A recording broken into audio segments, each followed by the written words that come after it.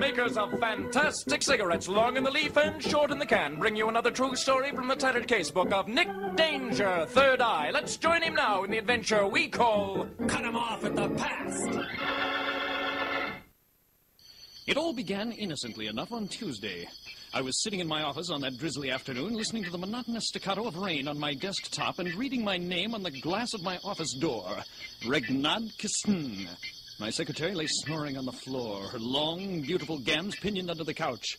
I didn't hear him enter, but my nostrils flared at the smell of his perfume. Pyramid patchouli. There was only one joker in L.A. sensitive enough to wear that scent, and I had to find out who he was. Good afternoon, Mr. Danger. I'm Rocky Rococo. Thanks, Half Pint. You just saved me a lot of investigative work. Maybe yes, maybe no. Do you know what this is? I had to think for a minute. What cruel game was he playing? Uh, that's a brown paper bag. That's correct. Now, look inside, Mr. Danger. What do you see? That's easy. That's a pickle. Very good. Now, I think you're ready for this.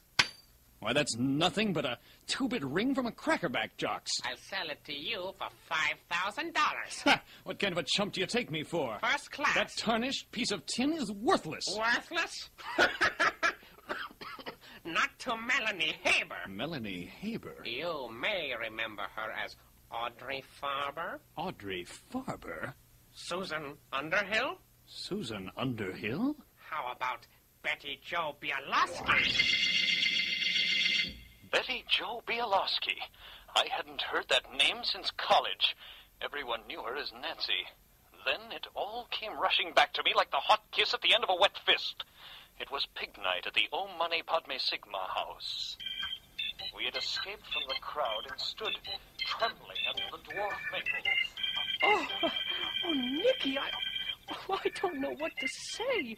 Th- This is the most beautiful ring I've ever seen. Yeah, Nancy. It's really neat. It cost me $5,000. Oh, Nicky, I, well, how can I ever repay you? Well, gee whiz, Nancy.